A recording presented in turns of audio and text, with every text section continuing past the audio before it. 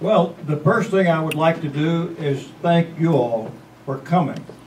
This has been a terrific treat for me to see people I haven't seen for many years and to meet some new people I haven't known that well.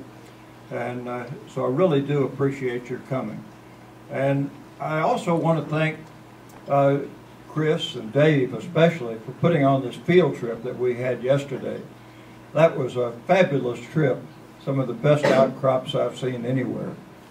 And I also, of course, want to recognize Sarah and Emily for work in the background. And finally, I'd like to thank my wife and Lisa for taking care of our homes uh, yesterday as we uh, made our way around on the field trip. The uh, uh, first thing I'd like to do is find out how many of you can tell me what's on this obelisk. How many, uh, would you raise your hand if you know? Oh, uh, there's a hand. at least? There, there are two or three. Oh, you're, you're, you're missing out on one of the principal important features in the history of the geology department at Washington and Lee. Uh, this, uh, there, there's a hall back here, part of the colonnade, that bears the name Robinson Hall. And uh, this obelisk is uh, uh, a monument to John Robinson. Uh, he is the only person outside the Lee family, I think, who is buried on the campus. And he's buried under that he was reinterred uh, after being buried somewhere else first. And my understanding is that they encased him in concrete, uh, just as they did Traveler. Uh, there, there is a time capsule uh, encased in there with John Robinson. And uh, so I want to start by telling you a little bit of the story of John Robinson. He was born in Northern Ireland and he came to this, well, that was 1745. He came to this country in 1770. Uh, and his early existence over in Ireland was pretty dismal. It's, it's hard to find out many of the details, but he lost his father when he was a small kid. He was turned over to his uncle, who in turn turned him over, indentured him as a, a weaver. And so he went into this uh, family with the weaver, learned how to weave, but after he got to the, the age of 17, he decided enough of this uh, business over here in Ireland, I'm going to go to the United States. One of the really intriguing things is how he got here. How did he get the money to get across the ocean? And I don't know the answer to that and I haven't been able to find it anywhere. But anyway, he did find his way across the ocean, and somehow or other he found his way to Rockbridge County, which was Augusta County at that time. He uh, uh, was he practiced being a weaver for a while, and uh, after a couple of years of that, he took up residence in a home uh, run by a fellow named General Bowyer. General Bowyer uh, owned a piece of property out on Thorn Hill. Have any of you ever ever been to Thorn Hill? That's a place you, you ought to, or one, one person in this room has been to Thorn, oh, two, okay. Oh, they're going up, there's somebody back there. Uh, Thorn Hill is one of the most beautiful homes uh, in Rockbridge County. And it belonged to um, uh, the uh, general. Uh, and let's see, where is this?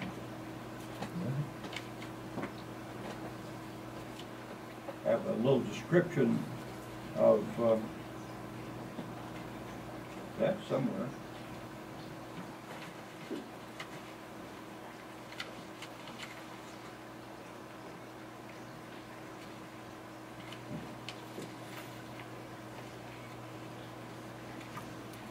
Nope, looks like that page is missing.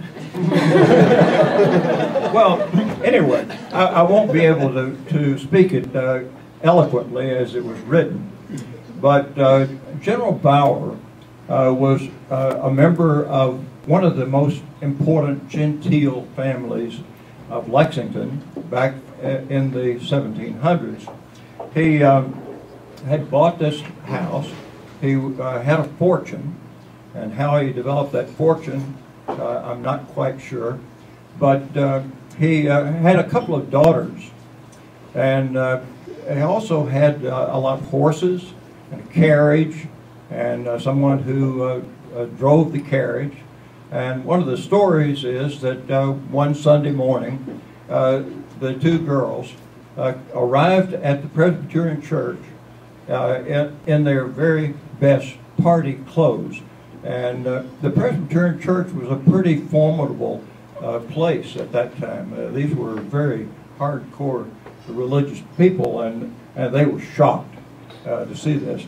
What this tells me about uh, General Bowyer is that that was a house that was filled with people who were pretty unconventional and uh, who uh, probably had a, a, lot of fun in life. well, the, uh, the, the important part of this is that somehow or other John Robinson was taken into this household. And uh, in the household, uh, he was apparently sort of a favored son of sorts. Uh, uh, the general allowed him to uh, feed his horses and provided whatever he needed for his sustenance. So um, he hit on the idea of going down to accumulate a little bit of money. He went down to the courthouse where they uh, traded horses, and he bought a horse that was in bad shape, uh, took it back up to Thornhill, and fed it and took care of it very, very carefully uh, for a month or two. And then he rode it back down to the courthouse and sold it. Well, when he sold it, he made a little extra money. And uh, so he bought another horse. Uh, and he um, uh, proceeded to do the same thing. Took that horse back up to the general's house, fed him, took care of him, then brought him back down, sold him again. Uh, he established a, a pattern of doing this uh, and to the point that he became known as Jockey John Robinson. He had nothing to do with being a jockey, he never rode in a race, anything of that sort, but he was a very skilled uh, spotter of uh, good horse meat. So uh, he, uh, I want to, I have a picture here of Thornhill. let's, tombstone. This is Thornhill as it appears today. I just took this picture uh, uh, last week. It's a lovely place. Incidentally, it's on the market. If any of you have an extra a million and a half dollars like to invest, uh, could be yours. It's in a, in a beautiful place, has beautiful barns behind it, uh, lots of uh, lots of land with it. Uh, it's a place that uh, you might enjoy retiring.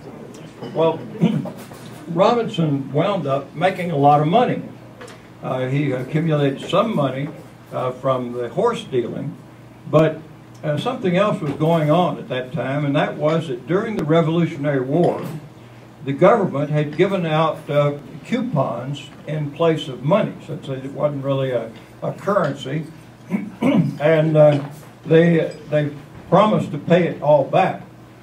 Well, of course, most people, after a year or two, begin to think, well, they're never going to come across with this money.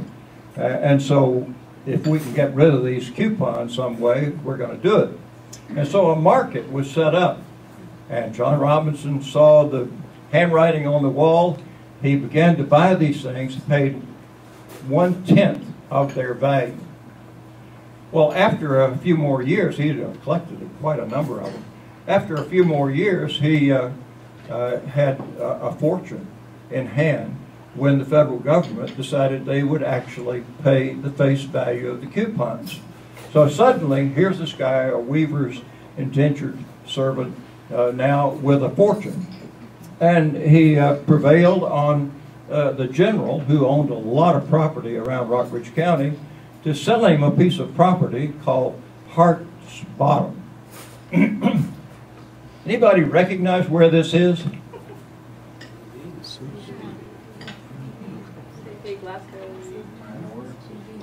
No, it's uh, close to the iron ore. You will recognize the next one. This is downtown Buena So Hart's Bottom, uh, which had belonged to, uh, I'm sorry, which had belonged to the general, uh, fell into the hands of Jockey John Robinson. And uh, he was he had a big farm there. Uh, he bought slaves. Uh, he was running a farming operation. He was not a very good farmer, and he uh, didn't handle his slaves very well, and uh, really was pretty much a failure over there, except for one thing, and that was that he learned how to distill whiskey.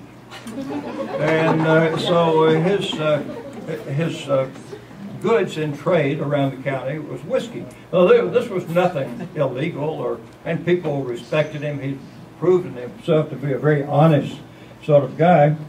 Uh, he um, uh, had had this fortune. I, I, don't know if well, none of you were here in 1969, but all of this area up to uh, halfway up the windows uh, was covered with water in 1969 uh, in uh, the flood uh, that accompanied Camille. And it gave anyone who looked at it a, an idea of how extensive this place called Hart's Bottom was. Great, great farmland. So uh, uh, Jockey John didn't know quite what to do with all of this money. And uh, in, it was 1817, he was now in his 40s.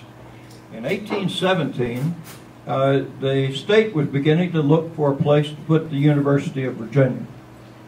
And uh, Jockey John uh, approached them and told them that he would leave his entire fortune, which amounted to about $65,000 in Revolutionary War age dollars. I don't know, is there someone here who can convert that into in terms of, you can imagine, this is a huge amount of money.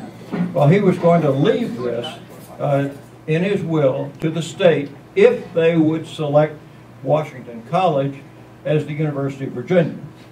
And, uh, or if they would, if they didn't want to do that, if they would build it within four miles of Lexington. And apparently there was quite a, a battle going on here between the people in Staunton, uh, Augusta County basically, and the people in Charlottesville. Well, they happen to have a resident over in Charlottesville named Jefferson. Uh, and uh, so you know the rest of the story. Uh, remember that uh, this would have been a fairly central location for the University of Virginia because West Virginia was all part of, of Virginia. And so it would have been centrally located had the university been placed here. But uh, Jefferson won that argument and uh, that's where the university wound up. I, I, guess some of us can be thankful for that. Yes. Others maybe not so thankful.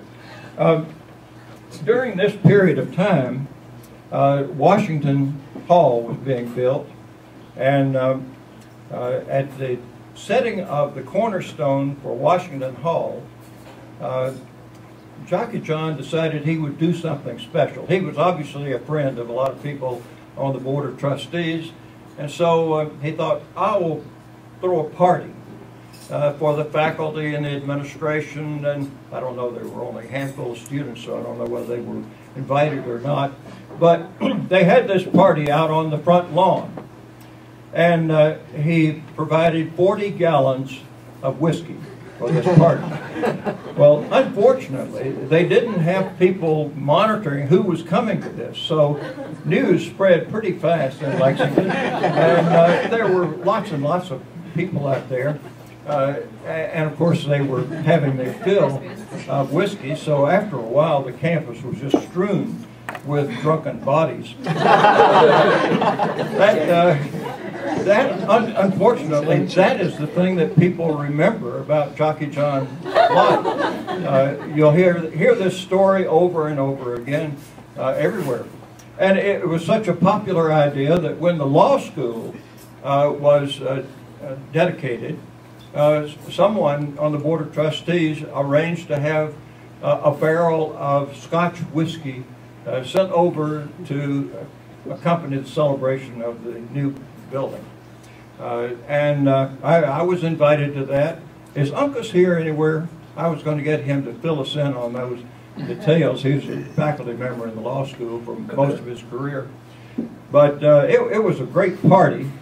Uh, I haven't been able to find very many people who can remember much about the I actually had a, a, tin cup of my own. I, I, lost that somewhere along the way. the, uh, but uh, that was the big event. People in uh, recalling Robinson always thought about this drunken brawl out on, on the lawn, and they failed to think about what he had done in trying to get the University of Virginia here. And in fact, at that time, there were no gifts of that sort being made anywhere in the South. There may have been some going on in, in New England, but it was very, very unusual for someone to put up that kind of money, 65,000 uh, Revolutionary War dollars, uh, for an educational enterprise. Well, Robinson didn't have any children. Uh, so uh, when the time came to draw up a will, he did that. He had it drawn up two or three times. He didn't like the way it was worded the first time. But there is one section in it that uh, I think you'll be interested in.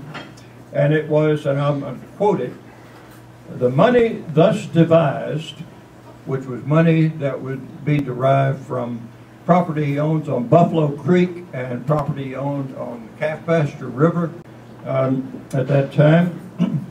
said, devised and received or a sufficient portion thereof shall be appropriated as soon as practical by the trustees of the college aforementioned uh, to the purchase of stock upon national security or other safe and lucrative stock that thereby a permanent fund may be provided upon which it is my will and desire to have erected a professorship of geology. He died in 1826. Uh, he actually added geology and agriculture and uh, uh, of that said institution. Well, this is a remarkable thing if you think about it, think about the history of geology. What was going on in 1826 when he died in the field of geology? Well, there was quite a, a, a debate going on in Scotland uh, between the Neptunists and the Plutonists, uh, Abraham Werner and, and uh, James Hutton. Uh, that argument was raging over there. The question that came to me was, how on earth did John Robinson know anything about that? You know, he was not educated in, in uh, Ireland. Uh, he had to have been educated by the general, General Brown. And so I think that's where the credit belongs. And uh, so uh, this remarkable thing that he did was um, the beginning, I think, of emphasis on geology at this institution. There uh, wasn't long after after that that um, the trustees decided they really needed to find out about breaking the will. Uh, there were several several things in here aside from the professorship in geology, uh, which probably most of the trustees didn't know much about anyway. And uh, uh, there was also a, a, a, part of the will that said he did not want his property in the Hart Bottom to be sold. And he provided, he wanted the slaves to be well taken care of. And so the, uh, the college uh, didn't have very much money, and they were looking for a way to take some of this money and use it for, for other things. And so we didn't get a, a professorship of geology uh, in his name until very much later. Uh, there was a legal opinion that was written up by in a talk that was presented and called the Bear Hollow Lecture. and uh, basically the lawyer uh, gave this opinion. The dead should not try to manage the property of the living. so think about that when you're writing your will. now I have here uh, something I'd like to hand out. Got a couple of people who can do that.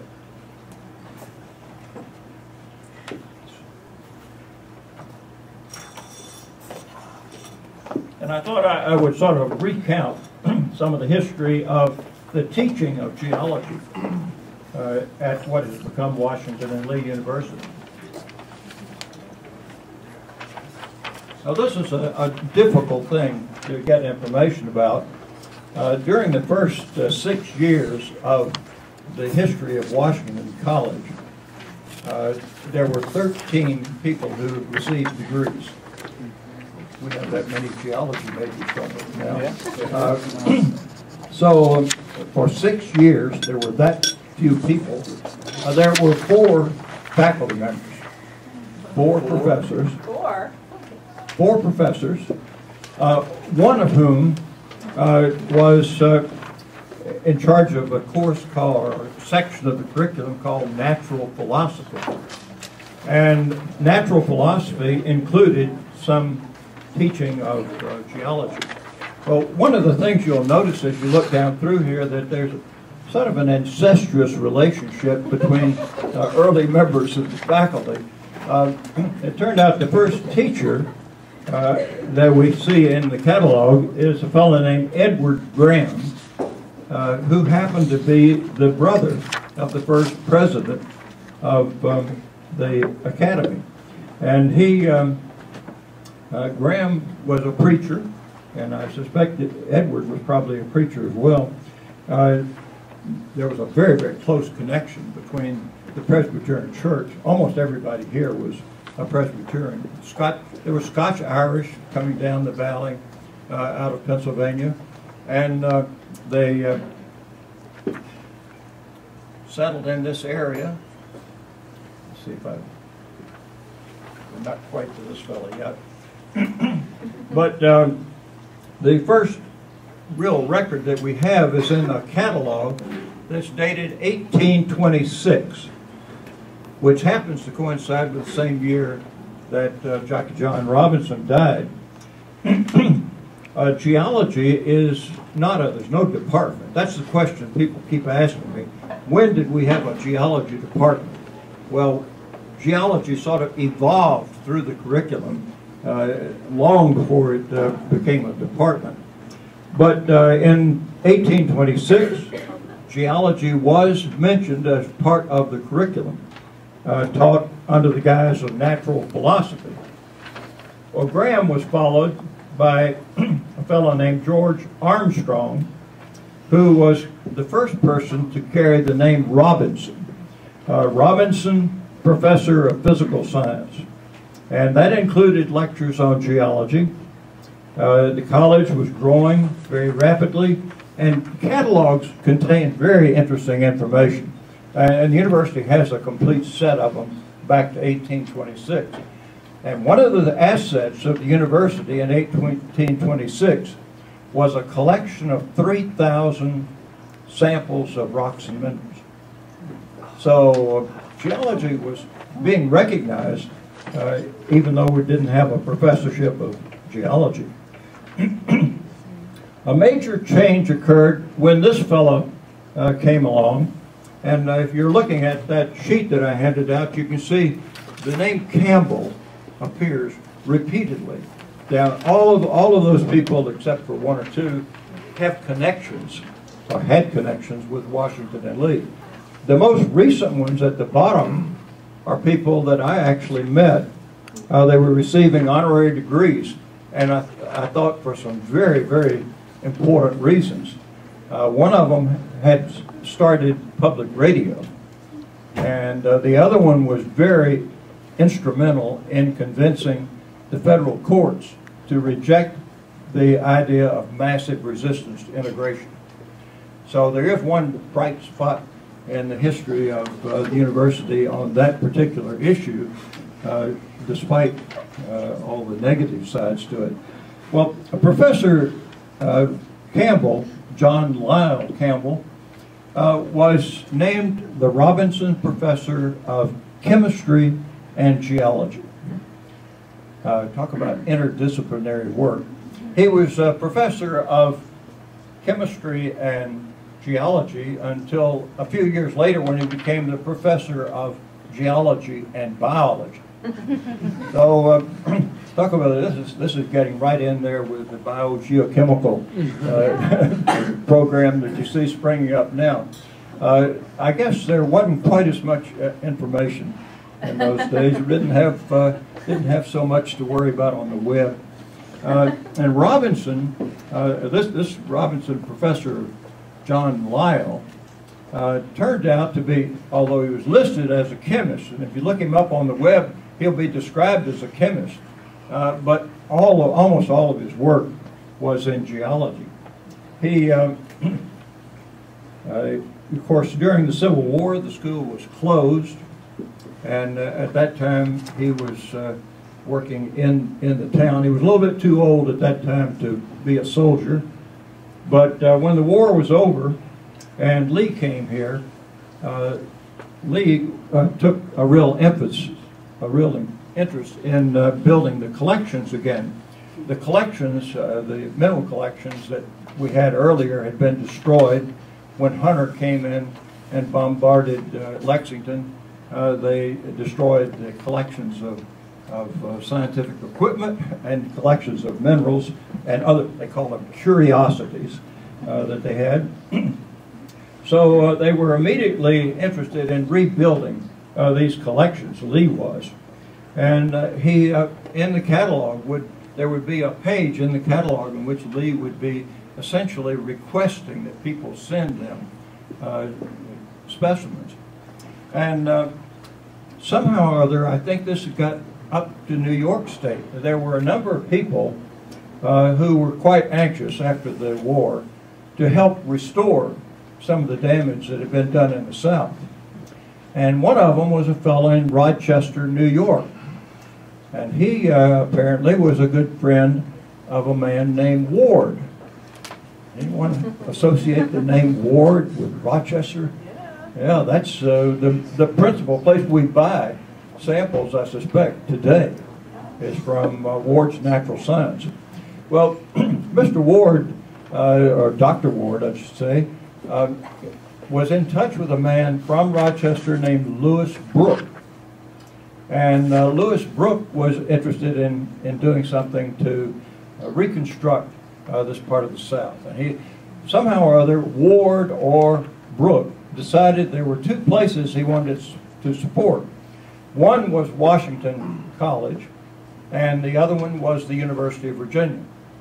And so uh, uh, negotiations were set out to uh, bring part of that collection here. And The Board of Trustees was anxious to have it. They offered to pay part of the cost of it.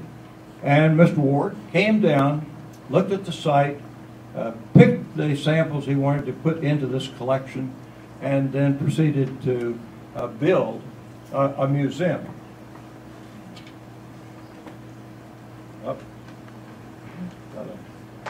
Nope. Get it. I might have to go back. Here, here's the museum uh, as it appeared in Robinson Hall. And uh, you can still see some of these samples around the geology department. Uh, there are some of them in a display case in the new science building down on the first level. Uh, here is one, uh, let's see, it was, somebody was telling me they worked did their thesis here. Jeff G, right? Uh, said he did his thesis on this particular island. And here is a, uh, a plaster cast of it that was part of this collection. I'm going to go back. What happened to the elephant? well, the museum has a sad history. Uh, as you know, there's no such museum in Robinson Hall today. And uh, it uh, happened in 1936 that uh, the university decided to move the museum out of uh, Robinson Hall because they were building a brand new science building called Howe Hall.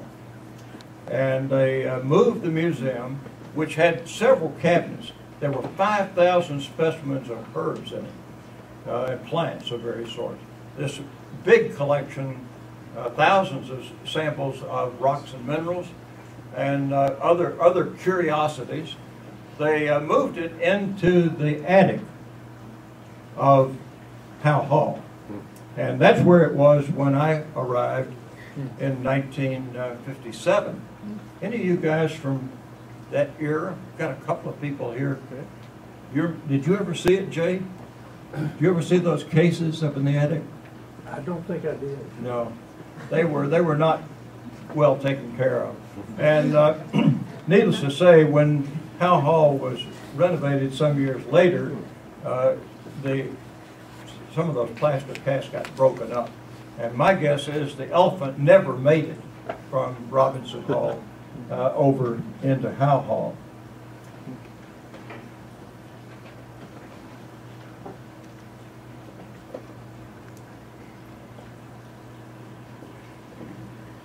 Campbell met another fellow uh, who had, uh, he was the son of a man who had been president of Washington College, uh, named Henry Ruffner.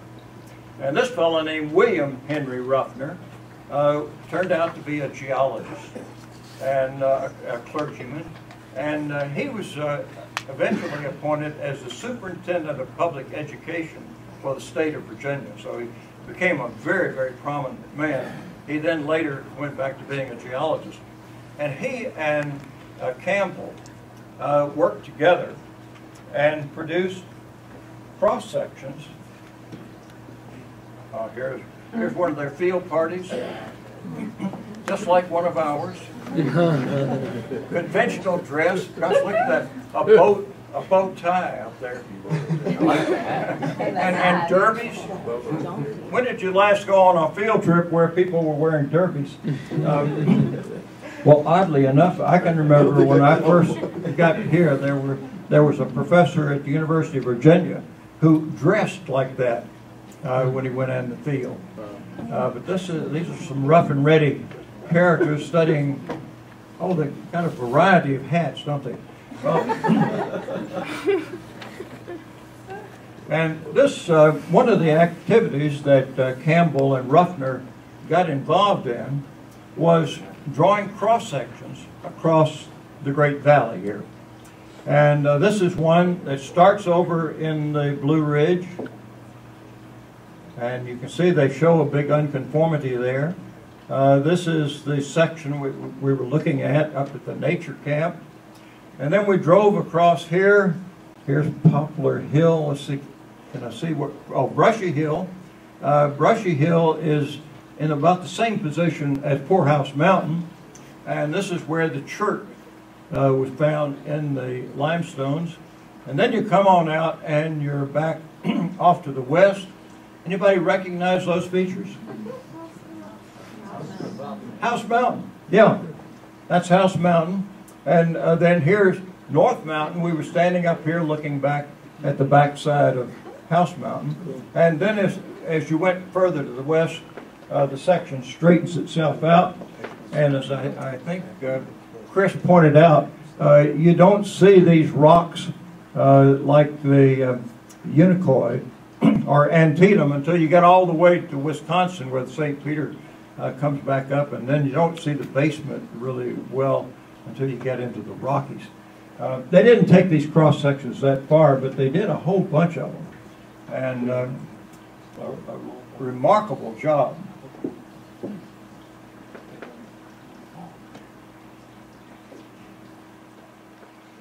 Well, it's not too much of a surprise looking at the past history uh, that the next geologist who appeared name was Campbell.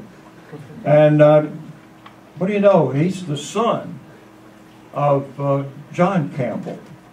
And uh, he had a son named Leslie Lyle Campbell, who was the first, or one of the very first people to receive a PhD from Washington College. And so, how many people do you know who have graduate degrees from Washington? the, the program was not dead when, uh, when I came here in 57. Uh, we still had a, a, graduate program in psychology, and I knew the last of the people to get that sort of degree.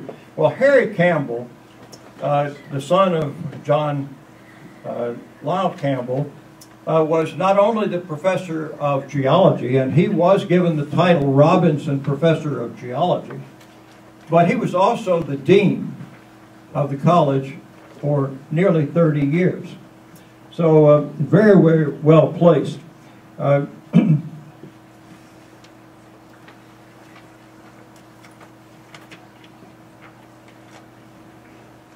another another member of this family, John Lyle Campbell Jr., uh, was uh, treasurer of the university for 36 years. You can see they, they really had a lot on uh, professorships and administrative positions. Uh, Harry had, had, an interesting uh, occasion that uh, sort of struck my fancy. They invited a, a well-known evangelist uh, who had the name of Billy Sunday. Have you ever heard? Oh yeah. yeah. Some of you, some of you older folks have heard of Billy Sunday, and uh, they had Billy Sunday come give a talk at Lee Chapel, and Billy Sunday was introduced by Harry Campbell, who was a very, very austere uh, looking man. And uh, Billy Sunday walked up after he had been introduced to the front podium and reached up and adjusted the tie on uh, Harry Campbell. It was, a little bit out of, of uh, straightness. And uh, he, um, the student body just roared uh, at that, the idea that anyone would touch the dean in that way. well, Harry Campbell was succeeded by a fellow named Marcellus Stow. Uh, they overlapped for a year or two, and this is a photograph of, of Stow, went by the name Mar. Very, very popular teacher. Uh, he came in in 1927, and uh, he was a very popular teacher, told lots of stories. Uh, I remember I, I, was in his class, and he, he, conducted the class up on the second floor of Washington Hall, uh, where the president now has his office. That was a two-story auditorium, and he had about 100 students uh, in that class. And he would lecture, and as he lectured, he always took out his Phi Beta Kappa key and sort of twirled it, had it on a, a little uh, chain he twirled that around. He was very, very proud of that. And uh, he was a very, very well-known and very prominent scientist. He, uh, to give you some idea of the sort of things that he did, uh, he was uh, nationally known for his work in sedimentation and stratigraphy, Fred. Uh, he did a major study of the James River Basin, big volume. He revived the State Geological Survey, which had fallen into disrepair. He was, uh, during the Second World War, he became uh, one of the leaders in the War Production Board. He was in charge of mineral exploration, uh, and, uh, and therefore became very well known uh, within the economic economy. He um, was still teaching, of course, when, when I came along, and uh, he, uh, I liked him a, a lot, and uh, he liked me enough to invite me to go out uh, to Montana with him uh, in uh, the year after I graduated. And we spent three months driving around Wyoming and Montana. Here he is looking for dinosaur bones. Not all dinosaurs were big. And we spent most of our time dealing with people like this who were prospectors. And one thing we learned very quickly was that every prospector thinks that the fortune is just feet ahead in the adit that he's uh, digging in. And these were, folks were no exception. Well, we never found anyone who had found any uranium. He was, uh, the, uh, there was a big reward being offered for the first person who could turn out a railroad car a load of uh, uranium. And that came uh, a fellow named Steen in Moab. Many of you have seen his house. Some of, some of you may have even eaten a meal uh, in a restaurant that's been uh, established there. Well, I had a great uh, year with a great summer with Mar out there. And um, then I went off to graduate school and uh, stayed in graduate school for about four years and uh, was just about ready to look for a real paying job. And I was trying to, this was one of those times when uh, employment in the oil business was going up. And so there was uh, uh, a great demand for people with a background in structural geology. And I really pretty much had my choice of which company I wanted to go to work for. And uh, I was sort of weighing that when I got a telephone call from Mark saying the other fellow in the department, there were two of them, has just resigned and taken a job somewhere else. This was in April, I think. They said, would you be interested in coming down and working uh, here for a year while I look for somebody to fill this job? And so I, I thought about it, went up to the Cosmos Club, had an interview with him, and uh, accepted the job. I had visions of going out and playing tennis and, and uh, living the good fraternity life that I had known uh, as an undergraduate. And uh, unfortunately, when I came back from working in Montana, I discovered that Mar was in the hospital. He'd had a heart attack, and he never survived that. So all of a sudden, after getting out of the van or the car in September, by October, I was the head of the department. the only person uh, in the department, and uh, some rather extraordinary steps were taken because it was too late to, to mount an international search for a replacement. And uh, so we desperately were looking around, and uh, I think Dr. Gaines said, well, who is the best student in the department? And I said, Uncas McThenia is. I'm hoping Uncas would be here, so he uh, could. Here he is, anyway. Wow. punching, punching the wrong one. This is Uncas.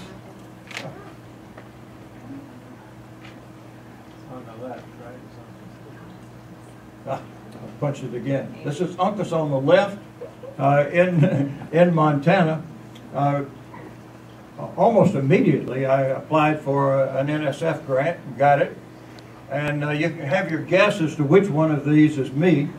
Uh, I'm in that picture, believe it or not. Along with uh, several of our students, we sort of began a, uh, a program of research in the Madison Mountains. And uh, quite a number of Yes, students, yeah. uh, Jay was out there in that part of the world, uh, working with uh, another uh, another team. And let's see, who else is here from that era? No, no one.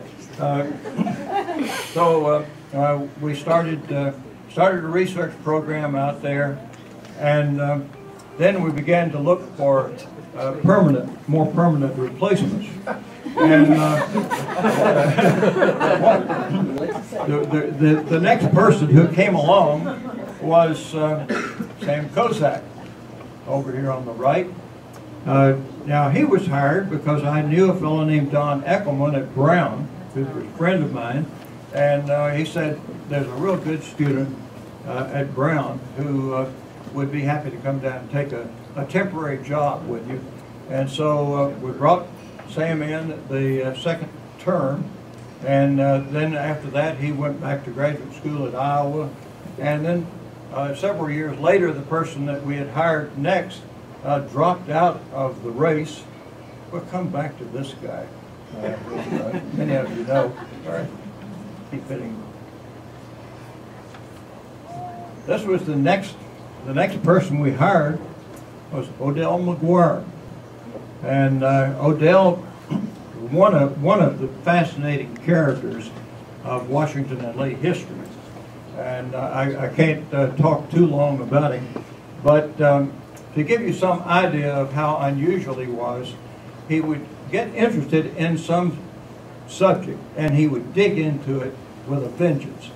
Well, sometime late in his career, he got interested in translating the earliest philosophers' manuscripts. Now, these are sort of short things. but he discovered, well, I can't trust the translations that are coming from the classicists, so I'm going to have to learn how to read Greek myself. So he taught himself Greek. And uh, then he proceeded to unravel these things. He did it, and then he lost complete interest in it. He was never one of these people who was interested in publication. So uh, he just uh, said, I've done it. That's what I wanted to do. I've done it. And it's sitting over there in my office right now, and I'm trying to figure out how I can get this into the hands of somebody who will publish it because he had insights into the meanings of some of those early manuscripts, many of which dealt with uh, natural phenomena. Uh, there were sections in there about uh, the movement of water in wells and water wells. Well, uh, Odell uh, went on until he retired, and then, now, let's see, here he is, along with one of our people, Here's Bill. Bill Perry is here. Cheers. Where are you, Bill? Remember that? I do remember that. Here, this is what Odell looked like when he was uh, a young instructor. Uh, He Wow. showed up here in a three-piece suit. And after the revolution that took place in the 1970s, 70s, he never appeared in a suit again, to my knowledge.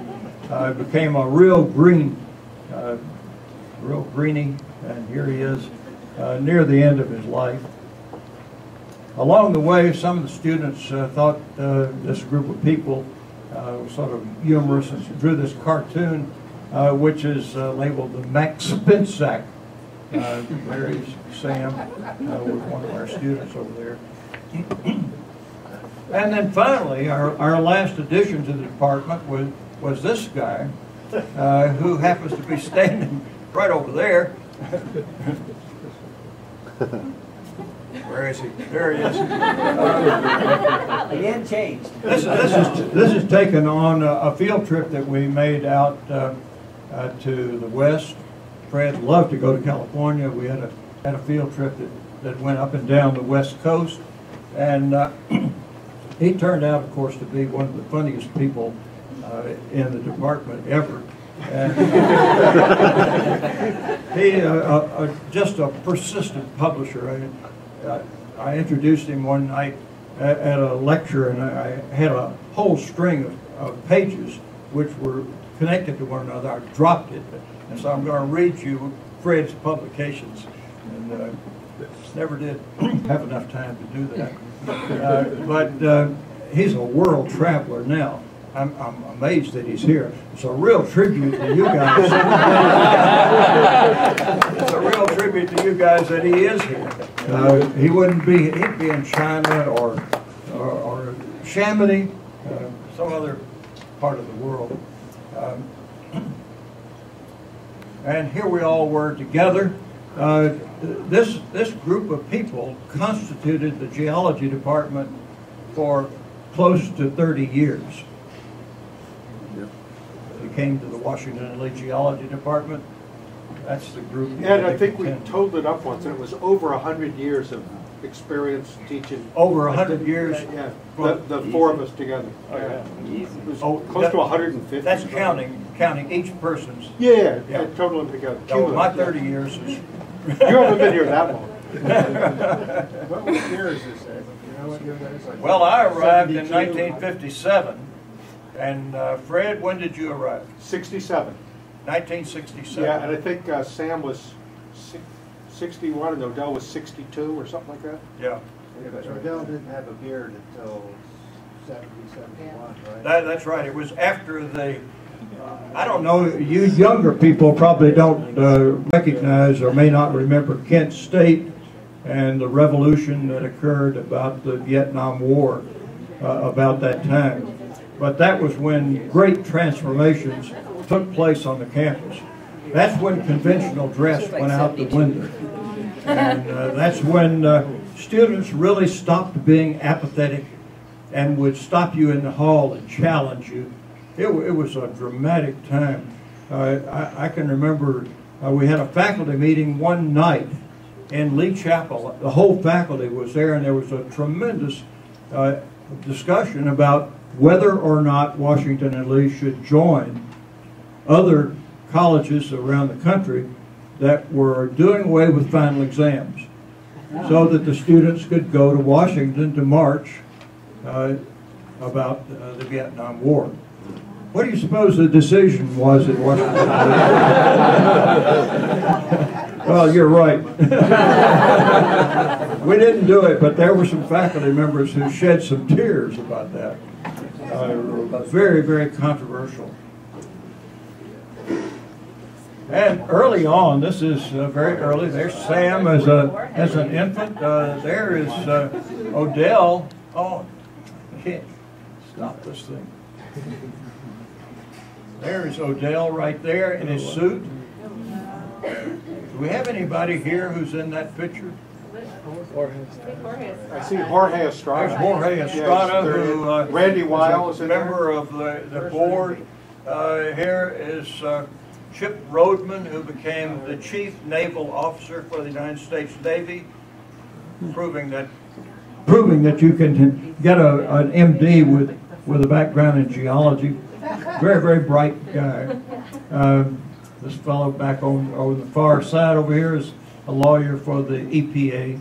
Um, really a very distinguished uh, group of people.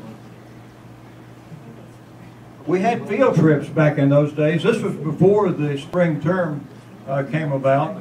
And uh, we had field trips, and uh, as I'm sure, uh, well, the question has often come up how many of you all would want to go on a geology field trip scheduled for the spring break?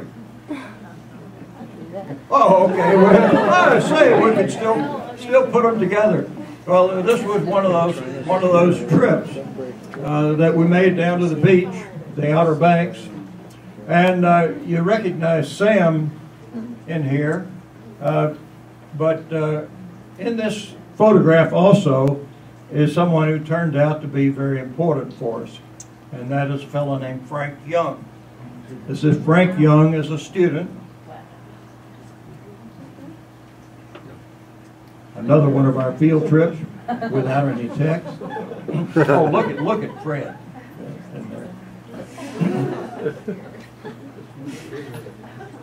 And this is Frank Young as he appeared uh, in the photograph that's mounted in the hall over in the Science Center. Uh, Frank uh, belonged to a family that owned a, an oil business uh, that uh, you've already heard about, I think, once today. And he was uh, trained here in geology. Uh, he did a master, did a, a degree in the Commerce School, and then he came back and did a degree in the law school. And so he really had a very, very great breadth of experience. And uh, working for the oil company, the, the uh, things went in a very good direction for him, And they began to make uh, a good bit of money. And I got a letter one day from Frank saying, I don't know what to do with all this money. and I would love to think of one thing that I would really like to do is to provide some help for the geology department. And so I'm sending you a check, uh, in this case for about $20,000. And uh, they put it, put it to good use. Uh, subsequently, he gave um, even more than that. Here he is. We went out to visit him a couple of times in a cabin that he had at South Fork. I always have uh, fond memories of South Fork. We stopped a field trip out there at South Fork in a motel one night, and uh, in the motel next to us was a group from Colorado School of Mines. And when these folks from Colorado School of Mines discovered we were from a liberal arts college, they really uh, gave the kids a, a hard time. And finally, someone piped up and said, Well, they may be the ones who are going to do the work, but we're the ones who are going to hire them. maybe, maybe it turned out that way. Uh, but um, uh, as I say, Frank uh, gave uh, uh, substantially more money later, and people have wondered uh, why he did that. I had him at home one day. Some people thought I had something to do with this. Uh, hold up in, uh, Courthouse Mountain. But um, the department has done done great things with the money that Frank has put aside. Thought I'd show a couple of pictures of, of uh, one of the things that Frank's money made possible was having a technical assistant in the department. Uh, this is Dennis Slifer, who was here for a number of years. He finally decided he wanted to go into uh, uh, archaeological work. Uh, went up, got a degree in Maryland, moved out to New Mexico, and you can see him uh, talking to one of our field trips about uh. And this is Bob Thrin, sitting right back here, who uh, many of you will recognize as being the technical assistant in recent years, anyway.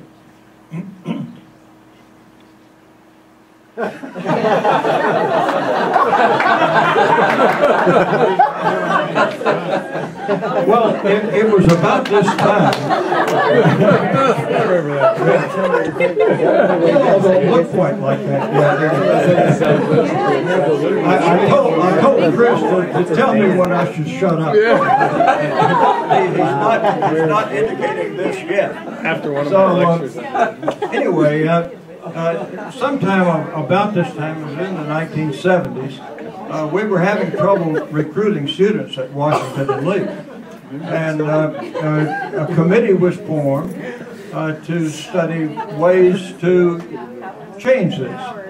And uh, I happened to be on that committee, and uh, uh, we were charged, at that time, schools all over the country were doing away with a rather rigid curriculum, which we had, which told you you're going to take two years of English and two years of history and one full year of laboratory science and mathematics or Latin.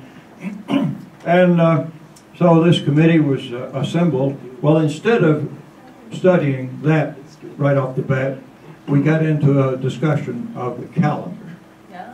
And this committee had, I was on it, and the other member on it uh, of note was uh, Pat Roberts, who was head of the biology department.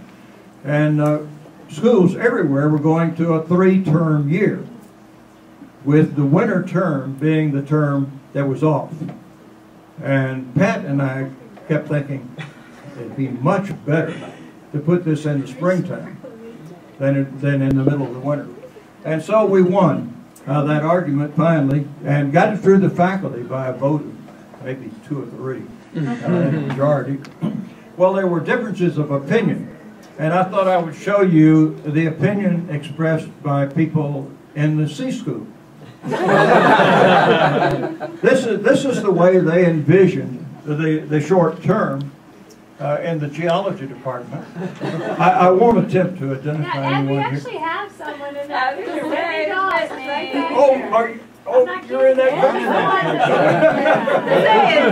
Are you in that picture too? Well, uh, when, when we weren't sleeping on the vans, uh, we would go to quarries and, and they envisioned that when we were in a quarry, it was filled with water, great place to swim. Uh, and uh, in, in our library, we, people were hard at work in the spring term.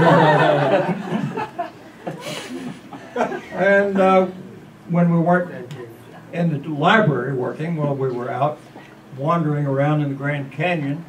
And, um, well, of course, there was the opinion expressed by the geology department, uh, which, uh, oh no, this is another one of the C school uh, views. Uh, here we are. Anybody recognize where that is? Uh, that's, uh, right near St. George. It's just north of St. George. Yep. And here we were feasting out there just as we have been tonight. And having fun in the white sands, studying the formation of sand dunes and rolling down the the uh, dip slope, like slip slope. But those of us in the geology department knew what was really going on. We were working hard, uh, and we were overcoming all sorts of hardships uh, in the field, looking out for rattlesnakes. Uh, every stop at a McDonald's, uh, someone got out a blackboard and, and uh, drew a cross section. If Chris had been there, I, I know exactly what that section would look like. Uh, oh, we have David Garner is in that one. Is that David over? His hair was a little bit different then, but at least he still has it. And we made these trips out uh, to California in 1990. And here we are working hard in the field. Fred is in there somewhere, or he was. I think he's off to the side. I don't know about this fellow up at the top. Uh, oh, here's Jamie Small on one of, one of these, uh, this was after a field trip. I might, might uh, mention that Jamie and some of his classmates are responsible for the dinosaur that flies over the Great Hall. Yeah.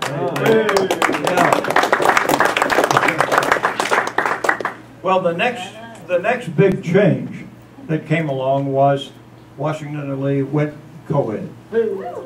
And uh, this, this was a controversial uh, decision, but um, I think almost all of the faculty agreed that this was the right decision. Uh, the, the place changed. Now, now, mind you, we didn't we didn't go without injuries. We lost. We, we lost the assimilation committee. You now see people wandering across the grass. You don't wear your beanies at football games. You're, you're, you're not wearing coats and ties all the time. Oh, things have changed in big ways. Um, Here's another one of our, one of my favorite co-ed pictures, I think we have. I think someone in this picture is in this room. Right over here.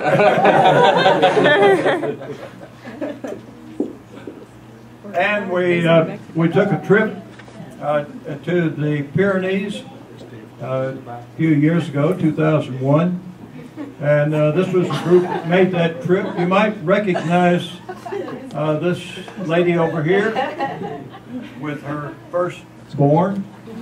That, that was that was a remarkable thing to watch because uh, I was sort of under the weather part of the time, and I would be down at the bottom of the hill, and Elizabeth would be carrying this child on her back up the mountain, on into the snow, on and on. It was a, a great, great trip, for me anyway.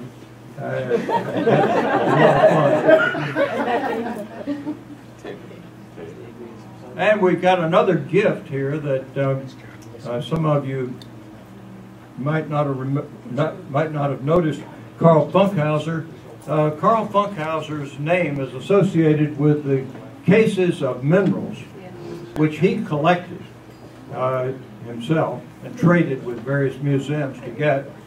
Uh, and uh, they're on display over on the second floor in Howe Hall. Something's happened to you, Fred. and uh, this fellow back over on the left uh, is President Wilson. And he was there uh, to thank uh, Carl Funkhouser for that uh, collection. And I think it is a splendid collection. And then, what was it, Fred? When, Wow. This was 2003. I remember that. What is that on your head?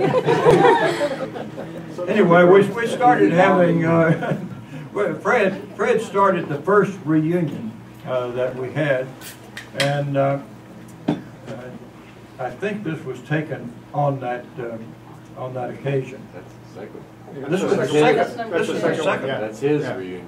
Yeah. The, the Oh, first one was when you retired. and The first Sam one was when I retired, the second one was when Fred retired, and happily, uh, no one is retiring at, at this point. Um, But that was something that came along uh, in the years that passed. And so here we are with a new generation. You've now seen and heard about geologists all the way from Jockey John Robinson, not a geologist, but he's very responsible for our existence here when a lot of schools don't have a geology department. Uh, a lot of very fine schools, in fact. Um, now, there's this is a new generation plus an onlooker uh, up there at the top. And uh, I, I guess uh, I could say that uh, one of the things that I'm so happy about is that I had something to do with the hiring of several of these people in this picture.